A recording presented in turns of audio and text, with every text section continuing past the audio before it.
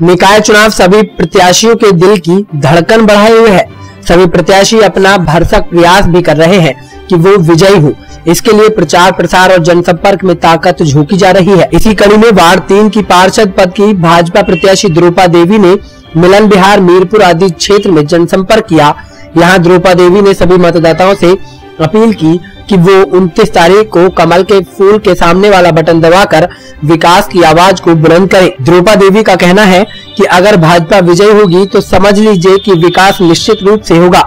उन्होंने कहा कि केंद्र और प्रदेश के बाद अब निकाय चुनाव में भी भाजपा रिकॉर्ड बनाएगी। हमारा चुनाव सही चल रहा है घर घर जा रहे हैं वोट मांगने क्या मुद्दे रहेंगे आपके? क्या जनता कैसा रिस्पॉन्स है? सड़कों के मुद्दे हैं खम्भों के मुद्दे हैं सफ़ाई के मुद्दे हैं। जो सफ़ाई वाले नहीं आते हैं झाड़ू लगाने के नहीं आते हैं किसी की नालियों की सफ़ाई नहीं हो रही है। उस मुद्दों पे हम इलेक्शन लड़ रहे हैं। अच्छा कैसा रिस्पॉन्स मिल रहा है? क्या जनता की प्रतिक्रिया कैसी जनता हमारे लिए सही कह रही सही दे रही है सही माने रख रही है कह रही है आप लड़े फूल वोट आपको देंगे और फूल पे लगेगी।